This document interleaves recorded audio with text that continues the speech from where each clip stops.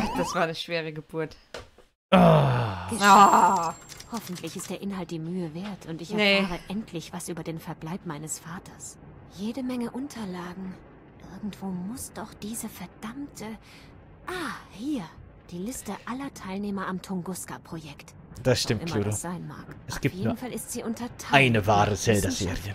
Militär und Geheimdienst. Im Zug sind das schon über 100 Namen. In der Station weit über 1000. Was genau machen die denn alle? Naja, egal. Erstmal muss ich schauen, ob mein Vater an Bord des Zuges ist. Dann bin ich mal gespannt. Hinter einigen Namen sind Kreuze. Sind die alle tot? Ich kann nur hoffen, dass die Kreuze eine andere Bedeutung haben. Mein Vater scheint aber nicht auf der Liste zu stehen. Weder im Zug noch in der Forschungsstation. Bin ich jetzt deswegen beruhigt oder besorgt? Immerhin haben sie ihn nicht nach Russland verschleppt. Aber dafür ist meine einzige wirklich heiße Spur jetzt nur noch lauwarm. Ich werde mir mal die anderen Unterlagen anschauen. Vielleicht bringt mich das ja irgendwie weiter. Hier ist eine Mappe mit dem Titel Tunguska-Projekt. Die sollte ich mir mal näher ansehen. Jede Menge Formeln und wissenschaftliches Zeugs, bis ich das verstanden habe. Was? Was ist das denn? Hier steht etwas von einer Kalenko-Expertise. Die scheint tatsächlich von meinem Vater zu sein. Er hat wohl 1976 nachgewiesen, dass ein in der Tunguska-Region gefundenes Objekt außerirdischen Ursprungs Dam, ist. dam, dam. Aufgrund dieser Expertise hat dann die Regierung grünes Licht für den Ausbau der Forschungsanlage gegeben, um von der Öffentlichkeit abgeschottet Experimente mit dem Bruchstück durchführen zu können. Offenbar haben diese Experimente dann ergeben, dass man das Verhalten von Tieren beeinflussen kann, wenn man bestimmte Strahlungsfelder mit diesem Bruchstück modifiziert. Daraufhin wurde das Tunguska-Projekt ins Leben gerufen, um die Technik zu verfeinern. Dann kommen seitenweise Versuchsergebnisse, die müssen da tausende von Tierversuchen gemacht haben. Nur mit welchem Ziel? Was versprechen die sich davon? Lässt sich das militärisch nutzen? Eine Armee von Raketenwerferbären. Wahrscheinlich.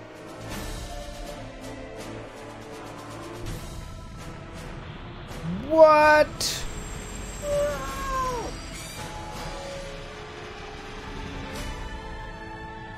Tot.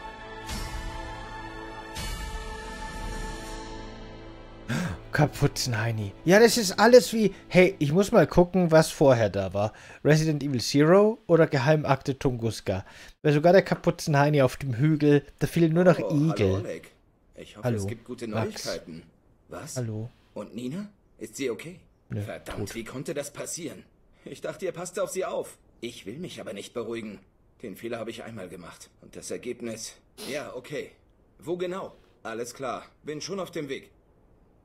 Baba, baba, baba, baba, Ich glaube, baba. so schnell konnte nie. gar nicht Informationen antworten. stimmen, dann müsste dies das Militärkrankenhaus sein, in das sie Nina gebracht haben. Hoffentlich geht es ihr gut. Wie konnte es nur passieren, dass ein ganzer Zug entgleist? Man vermutet einen Anschlag. Aber das soll uns jetzt erstmal egal sein. Du musst Nina da rausholen. Ich? Ja, alleine stehen deine Chancen besser, nicht entdeckt zu werden. War sowieso schon ein Wunder, dass wir so einfach bis hierher gekommen sind. Ich habe zwar extra einen großen Bogen um die Forschungsstation gemacht, aber so dicht dran hatte ich schon fast damit gerechnet, dass uns das Militär abfängt. Okay. Und wie komme ich jetzt da rein? Lass dir was einfallen. Prima. Aber schon mal vielen Dank fürs Herbringen. Ohne dich hätte ich das hier nie gefunden. Gern geschehen. War doch selbstverständlich. Du machst dir ziemlich Sorgen um Nina, oder? Ja. Hoffentlich ist dir nichts passiert. Du magst die Kleine wirklich, oder? Ja, sie ist toll. So was Wunderbares ist mir noch nie passiert. Hey, aufwachen, Junge. Träumen kannst du, wenn du Nina da rausgeholt hast. Äh, Ja, du hast recht. So, nun aber los. Viel Zeit bleibt uns nicht. Ich warte hier, falls du irgendwie Hilfe brauchst. Ach ja, denk dran. Nina ist unter dem Namen Perkova unterwegs und wohl auch unter diesem Namen eingeliefert worden. Und jetzt viel Glück. Danke. Das werde ich wohl auch brauchen. So was Wunderbares ist ihm noch nie passiert. Es ist einfach alles so schlimm, oder? Dass irgend so eine Die Frau Dialoge, ey. irgendwie mal kurz einen Satz mit ihm redet und sonst Ja. keinerlei Bewandtnis irgendwie zu Nehmen wir die so. Stofftasche mit. Ja, nimm die mal mit. Auch wenn Max ein ziemlicher Creep ist, aber gut. Ja. Ja gut, können wir noch mal mit ihm reden? Mit dem Oleg. Sa- Sully. Besonders. Aber immerhin hilft er uns. Was ist, wenn irgendwas passiert? Wird schon nichts passieren. Ich warte hier. Und falls der Alarm losgeht, tritt Plan B in Kraft. Und der wäre? Das überlege ich mir zu gegebener Zeit. Und jetzt sieh zu, dass du da reinkommst. Okay. Plan B. Na dann. Die Löwen sehen einfach auch nicht gut aus. Na gut, ich frage einfach mal, Ja, wer so da ist und ob uns warum jemand reinlässt. Eine Gegensprechanlage. Und ich dachte immer, in so abgelegenen Regionen gäbe es nicht mal Strom.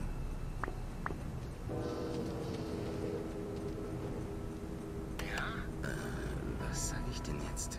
Äh, schönen guten Tag. Ich mache hier in der Gegend Urlaub und bin zufällig vorbeigekommen. Sieht toll aus. Ist bestimmt alt, oder? Äh, kann ich mir das Haus mal aus der Nähe ansehen? Was? Ich äh, bin ein großer Fan von Gebäuden aus... aus der Zarenzeit.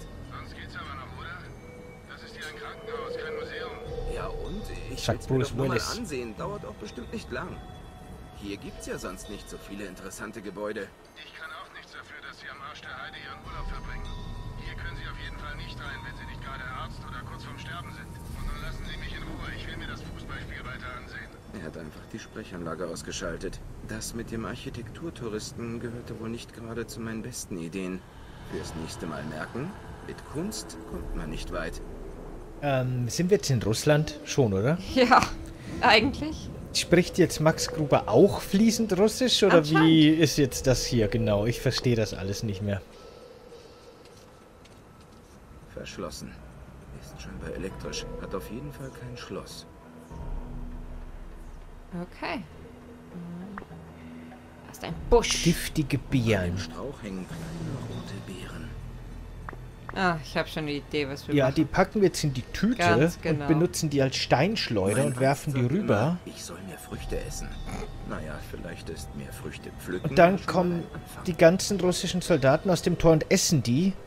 Nom, nom. Und dann fallen sie um und sind tot. Und jetzt ziehe ich mir die über den Kopf. nee, leider nicht. Ah, schade. Vielleicht ziehe ich ihm, ihm über Wir, den haben, Kopf. wir könnten sagen, wir haben hier Spenderorgane in der Tüte. Moment, wirklich? ja, Okay. anscheinend. Hier, bind dir das mal um die Hand mit den fehlenden Fingern. Wenn der Sanitäter nicht so genau hinsieht, können wir ihm vielleicht vorgaukeln, du hättest die Finger gerade erst verloren. Na dann. Wussten wir, dass dem Finger fehlen oder Was ist, wenn irgend... Wird schon nichts passieren. Und der wäre... Das überlege das höre ich zum ersten Mal. Aber gut. Hallo, ich bin's nochmal, der Architekturtourist. Ich habe jetzt doch jemanden mit einer kaputten Hand gefunden. Wirkt ziemlich unheimlich, mehr wie ein Geisterschloss. Ich sollte Nina da schnellstens rausholen. Na gut.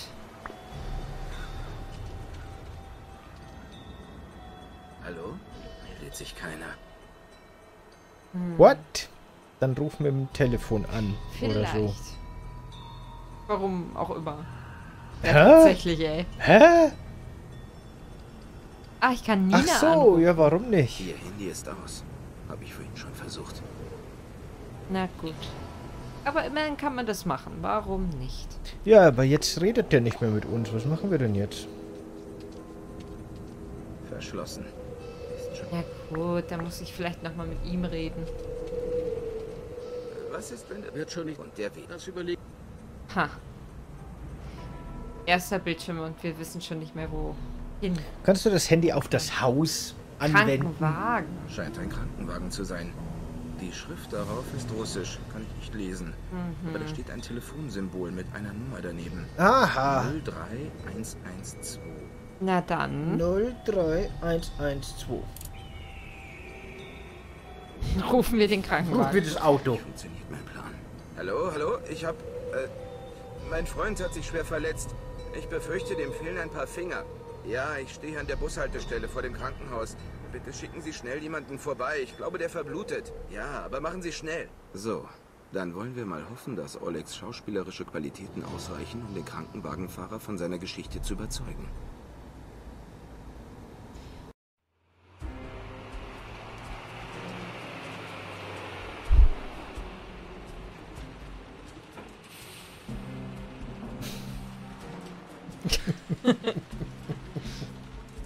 Sieht auch aus, wie, als hätte er einen Stock im Arsch, ey. Ja.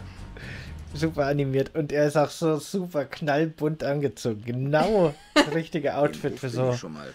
Jetzt muss ich nur noch Nina finden. Na dann, dann, Na dann. wühlen wir gleich mal im Müll und holen uns Eine die Schere da. Genau. Denke besser nicht darüber nach, was für Eingeweide damit schon entfernt wurden.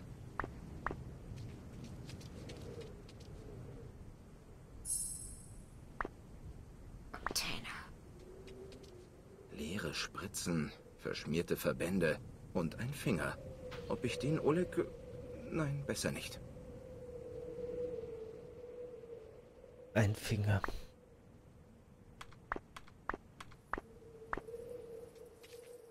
So, einfach zur Tür rein. Abgeschlossen. Wäre auch zu einfach. Wen wundert's? Nimm die 100 Watt Birne. Lampe beleuchtet den Kellereingang. What? Crazy. Kannst du bei den Kartons, die da rumstehen, die Holzkisten da rechts unten irgendwas machen? Nee, Und aber die ich, Kellerfenster? Dann die Regenrinne hochklettern. Ansonsten weiß ich jetzt Scheint auch nicht mehr. Abwasserrohr zu sein. Es führt ins Obergeschoss. Na dann klettern wir mal hoch. Mit der OP-Schere. Moment, konntest du jetzt doch gerade das Kellerfenster anklicken mit der OP-Schere? Das hintere? Nee, das ist- Ja, okay. da. Was ist da genau? Ich stehe da anscheinend auf was. Schatten? Hä? Irgendwas wirft diesen Schatten. Ah. Irgendwas hier ganz in der Nähe. Da, der Schatten. Hä? Ich sehe da keinen Schatten. Die Pfütze da vor dir, oder wie? Ja, anscheinend ist das ein Schatten. Da ist ein Schlüssel. Ah, Da ist ein Schlüssel drin. Da ist ein Schlüssel in der Lampe. Das ist der Schlüssel in der. Lampe. Aber wir können hier anscheinend auch nach vorne gehen. Lampenschlüssel. Und warum? Achso, können wir jetzt nicht mit der Lampe interagieren gerade Nee, nee, so? das hat Hm. nicht funktioniert. Lampenschlüssel. Der gute alte Lampenschlüssel. Sieht nicht gerade wie ein typischer Krankenwagen Oh, aus. guck mal. Mehr wie ein Militärfahrzeug. Das, Aber was machen die hier so weit weg von jeglicher Zivilisation? das weiße Gebäude, Yep. neben dem wir stehen, sieht aus wie ein Gesicht. Mit so Ah. einem, mit so einem bauschigen Backenbart. Hm. Und es macht. Nicht gerade das neueste Modell. Scheint aber ihren Zweck zu erfüllen. Okay. Okay, wir können vorne einfach zur Eingangstür. Hast du den Schrei gerade Ich gehört? glaube nicht, dass Ja. es eine gute Idee ist, da so einfach reinzuspazieren. Was für eine Art Krankenhaus ist denn das hier? Ha, aber es ist interessant. Ich kann auch sonst nichts weiter machen hier. Ich kann nur zurückgehen. Dann wirf doch jetzt mal dein Handy auf die Lampe. Okay. Moment. Moment. Ach so. Aus. Hab ich Ah, Es ist aus. Ja, dann wirf's wirklich. Es ist jetzt ein Ziegelstein. Verdammt.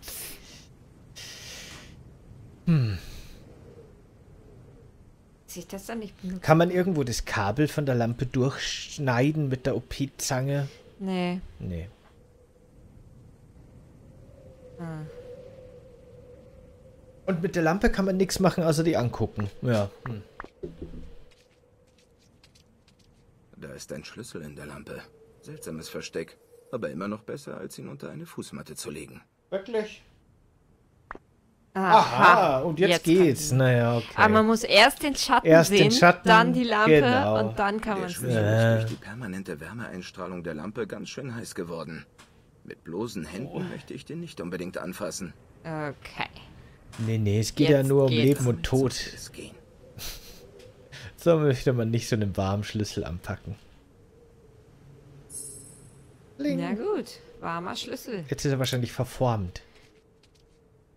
Das ist jetzt wie ein Metal Gear. Solid. Jetzt muss man den irgendwo abkühlen und dann schnell genug wieder bei der Tür sein. Nee, das macht keinen Sinn. Ab in die Höhle des Löwen. Hoffentlich ist keiner im Keller. Offensichtliche Akte da. Hier scheinen die Krankenakten drin zu sein. Bling. Alphabetisch sortiert. Vielleicht finde ich heraus, was die mit Nina gemacht haben. K. Kach. Kaio. Kam. Hm. Scheinen keine Akten über Nina drin zu sein. Oleg sagte ja, Nina sei unter falschem Namen gereist. Wie war der doch gleich? Per. Per Cover. Schauen wir da mal nach. P. Pal. Per. Peris. Peris? Peris Manuel. War das Paris? nicht der Typ, der damals zusammen mit Ninas Vater an dieser Tunguska-Expedition teilgenommen hat? Und der war auch hier? Interessant. Das sollte ich mir mal näher ansehen. Wenn Ich kenn mich den auch. rudimentären medizinischen Kenntnisse Paris MC. steht hier was von schweren Verhaltens- und Bewusstseinsstörungen. Offensichtlich hat sich dieser Paris sehr sonderbar verhalten und wies keinerlei Symptome bekannter Krankheiten auf. Naja, das ist ja Ewigkeiten her. Mittlerweile sollte doch die Forschung... Man hat anscheinend versucht, der Krankheit auf die Spur zu kommen, indem man Experimente an ihm durchgeführt hat. Bei vollem Bewusstsein die Schädeldecke, das ist ja grauenvoll. Stromschläge, Zwangsjacke, Schocktherapie. Das liest sich ja wie ein mittelalterlicher Folterbericht, aber offensichtlich hat der arme Kerl das Ganze überlebt. Er wurde dann vor wenigen Wochen auf Antrag einer gewissen Dr. Nicole Charleroi in seine Heimat überstellt, nach Kuba. In einen kleinen Vorort von San Cristobal westlich von Havanna. Offenbar hat sich dieser Paris trotz seines erbärmlichen Zustands so stark gewehrt, dass sie ihm die doppelte Dosis von Phen Phenylcyclidin-Piperidin gegeben haben. Ist, glaube ich, ein Narkosemittel, das mittlerweile verboten ist. Seltsam. Da liegt dieser Paris hier fast 30 Jahre rum und plötzlich überweist man ihn nach Kuba. Und kurz danach verschwindet auch noch Ninas Vater spurlos. Würde mich stark wundern, wenn es da keinen Zusammenhang gäbe. Müssen wir jetzt auch noch nach Nur Kuba? Nach dem hier. Vielleicht. Hm. Ich kann dir sagen, dass ich mich zumindest noch an zwei weitere Schauplätze erinnern kann, die, man, Ah, noch, okay. die man außer Russland noch hat. Aber ich glaube, so Hirn-OPs, zumindest so gewisse Hirn-OPs, werden immer bei vollem Bewusstsein durchgeführt, weil man den direkten Effekt wissen muss, wenn man verschiedene Areale stimuliert, Dinger damit gesagt man weiß, wo man ist, damit man nicht versehentlich was Falsches rausschnibbelt. Insofern ist es gar nicht so barbarisch. Also ich hoffe, die Stelle war narkotisiert. Handventilator! Ja! Diktiergerät. Ein Diktiergerät. Vielleicht ist ja was von Nina drauf zu hören. Bestimmt. Das wäre schon ein sehr komischer Zufall. Ja, Acht weitere schwere psychische und neuronale Störungen. das ist schon wieder Flanders. Oder? Während des Beobachtungszeitraumes äußerten sich die Symptome in optischen und akustischen Halluzinationen, reflexartigen Muskelkontraktionen und Harninkontinenz. Hinzu kommen psychogene Reaktionen, temporäre Amnesie, partielle Lähmung der Gesichtsmuskulatur und Augenflimmern. Durch äußere Einwirkung verursachte Schläfenlappenbeschädigungen, Fraktur des rechten Handgelenks, diverse Prellungen und Hämatome im Kopf- und Armbereich. Mit Ausnahme einiger äußerer Verletzungen im Großen und Ganzen also ähnliche Symptome wie bei den anderen Patienten. Der Bericht ist schnellstmöglich anzufertigen und nach Moskau zu faxen. Mist, die Batterien scheinen ihren Geist aufzugeben. Das hört sich aber ganz schön übel an.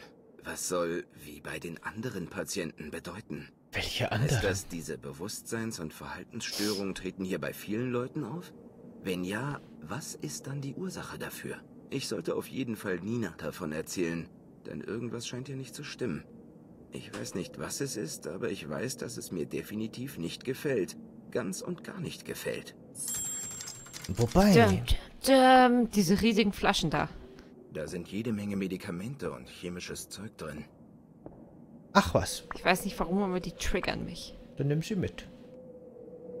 Wenn ich mich nicht irre, dann ist in einer der Flaschen dieses Zeug mit dem Peres betäubt wurde. Den Rest kann ich aber immer noch nicht identifizieren. Nehmen wir doch gleich mal mit und wenden das auf die ganzen Soldaten Oh, mit an. dem Ventilator Mit dem kann man das Ventilator, super, super spreaden und dann sind alle Dann sofort sind wir auch betäubt. Super Spreader. Vielleicht. So. Okay, der da noch. Ein Stuhl, ein kaputt und Rollstuhl. steht deshalb hier rum. Vielleicht. Vielleicht. Na gut, mehr ist hier nicht. Dann gehen wir mal weiter. Schauen wir mal.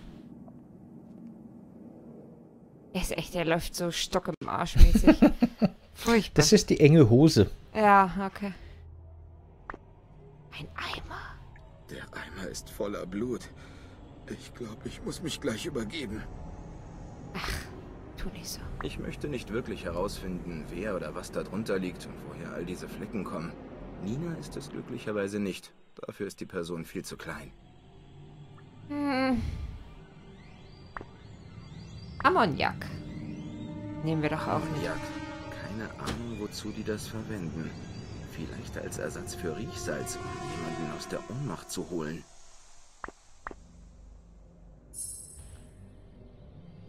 Ammonia. Uh, Spritzen.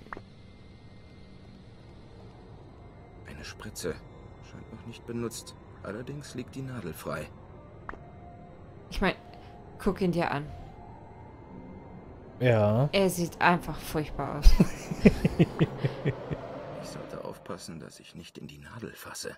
Oder findest du ihn nicht furchtbar designt? Also allein, also abgesehen davon, dass halt ne, Grafikdesign, also wie, wie Grafik halt damals aussah. Aber er sieht so furchtbar aus.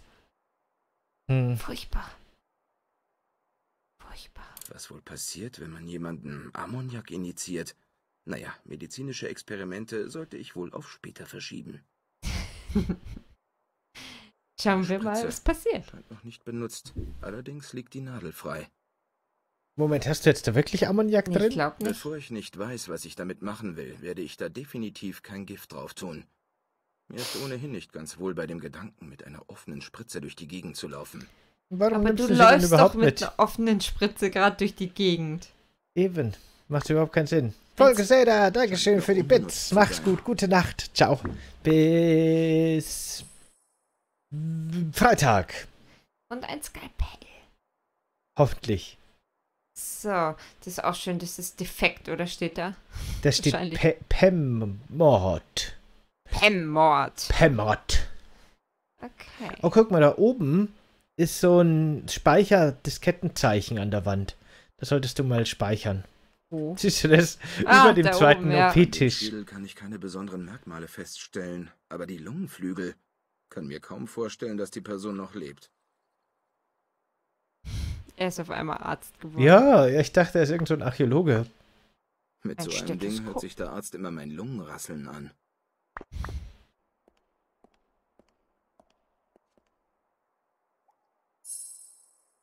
So. Mit so einem Ding scheint Freitag dürfte ziemlich sicher, kann ich jetzt schon mal sagen, Mario-Tag sein. Obviously. Ah. Blutige Tupfer. Oh oh. Wegen solcher Zustände würden sie bei uns ein Krankenhaus komplett dicht machen. Hoffe ich zumindest. Okay, ich glaube, mehr kann ich hier eigentlich erstmal nicht tun. Es Hast sei denn, in ich kann Eimer Blut aus dem geguckt? Eimer aufziehen. Nee, geht wohl nicht. Hm? Ne, passt schon, ist schon gut. So, Willst du mit dem Stethoskop die Leiche abhören? Ob die noch lebt? Ich höre Stimmen. Bevor ich nicht weiß, Oder? was mich dahinter erwartet, Mhm. ich diese Tür nicht an. Aha, Mhm. ist ein sehr guter Burger. Kann ich ja auch nichts für. Aber du verpasst was. Das Spiel ist echt gut. Nur blöd, dass die Satellitenschüssel so empfindlich ist. Muss ständig nachjustieren. Hoffentlich wird es nicht wieder so windig wie gestern. Da konnte ich rein gar nichts mehr erkennen. Nee, das kannst du vergessen. Sei doch froh, dass die Tussi wenigstens tief und fest schläft und nicht ständig Randale macht. Jo, und noch drei Tage in dem feuchten Zimmer da oben, dann haben unsere Docs wieder was zu tun. Nee, bleib lieber oben. Ist zwar kaum einer da, aber falls jemand auftauchen sollte, gibt's wieder einen Aufstand von wegen Posten verlassen und so. Keine Sorge, der Chefarzt wird schon nicht merken, dass ich während der Dienstzeit mehr mit Fernsehen als mit Kontrollgängen beschäftigt bin. Ich habe die ganze Zeit ein Auge auf die Eingangstür und wenn er nicht gerade durch den Keller gekrochen kommt, werde ich ihn auf jeden Fall rechtzeitig bemerken. Ja, mach ich. Bis später. Und geh nicht wieder auf Rattenjagd. Der Doc ist immer noch sauer wegen der Einschusslöcher. Feuchtes Zimmer irgendwo in einem der oberen Stockwerke. Zumindest weiß ich jetzt ungefähr, wo Nina gefangen gehalten wird. Nur Heißt das, wir müssen jetzt- mindestens zwei Wachen sind. Ich Wir müssen jetzt- es irgendwie schaffen, mit Nina Kontakt aufzunehmen. Wir müssen Vielleicht jetzt hat sie ja eine Idee, wie wir die beiden ausschalten können. durch den Keller kriechen. So habe ich Ich habe das, das, jetzt Gefühl, verstanden. du findest es überhaupt nicht interessant, was hier passiert. Ja. Ja, zwar mit dem ja. Fußballspiel im Fernsehen beschäftigt. Trotzdem sollte ich nicht weiter in den Raum reingehen. Wenn ich erwischt werde, bin ich ein toter Mann. Hm, Ich meinte das ernst, dass wir durch den Keller kriechen sollten, weil er doch gerade gesagt hat, durch den Da Keller. gehe ich besser nicht hin. Wenn mich die Wache bemerkt, kriege ich sonst ganz massive Probleme. Wir gehen raus ja, ja, und zerhauen die Ganz Satellitenschüssel. ganz genau. Oder wir stellen den Ventilator daneben auf, damit die ständig hin und her wackelt. Ja, ich Bild wüsste auch nicht, mit was wir die Satellitenschüssel kaputt hauen. Gerade. Wir könnten auch einfach da die, ne, mit der Hand einfach die ein bisschen verstellen. Vielleicht theoretisch könnte das funktionieren. Oder wir schleichen uns an den Soldaten und töten ihn. Vielleicht. Mit Skalpell und Giftspritze Giftspritze, gleichzeitig. ja. Definitiv. Guter Plan. Wie lange geht der Streak? Ich meine, nach dem, was Nina alles getan hat, Ja, traue das ich denen alles zu. Ja, was? das stimmt. Es ist jetzt erst neun. Nach zwei Stunden. Okay.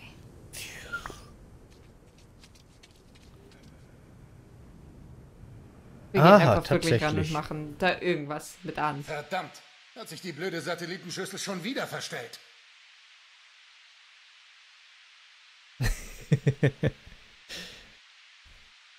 Unzählige Leben ruiniert. Hat die Nina. Ja.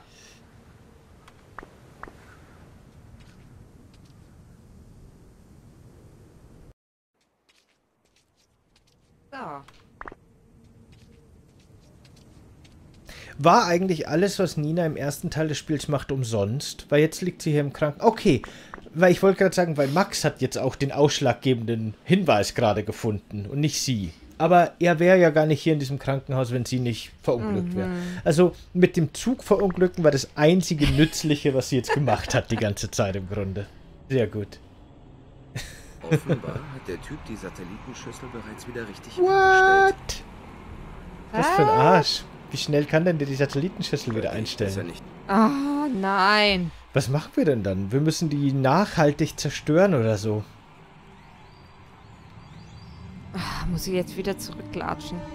Ziemlich sicher. Oder nimm mal das Messer auf ihn. ah, Schade. hätte ja sein können. Ah, naja. Die Giftflasche vielleicht. Oh, Moment. Ach nee, das war die Spritze. Okay. Hm, vielleicht geht's Bevor jetzt. ich nicht weiß, Ah, schade. Ich Wir- wüsste, wir was ich damit wissen, mache. wir haben einen Plan, Max. okay. Immer diese gewaltlosen Spiele. Also wirklich. Immer oh. diese Gewaltlosigkeit verherrlichenden Spiele, Mensch.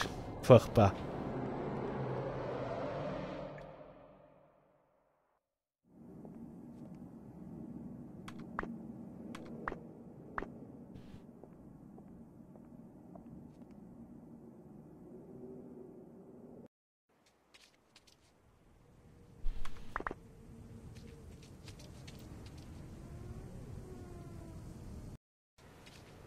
So, na gut.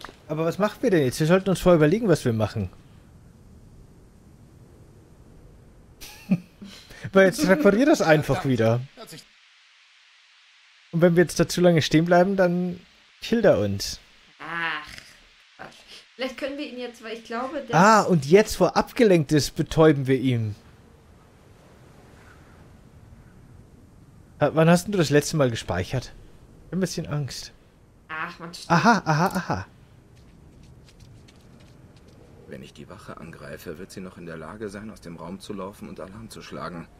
Das sollte ich nicht riskieren. Ach so. Du bist so ein Luschi. Hm. Versuch jetzt mal die Spritze mit dem Gift zu kombinieren. Ist ja nur Betäubungsmittel. Es ist ja nicht mal Ja. tödlich. Was wohl passiert, wenn man. Nee, nicht Ammoniak. Bevor ich nicht... Nee. Dann weiß ich es auch nicht. Was haben wir denn da noch, wo der Pfeil ist? Dann nur das Handy oder auch was nicht. anderes?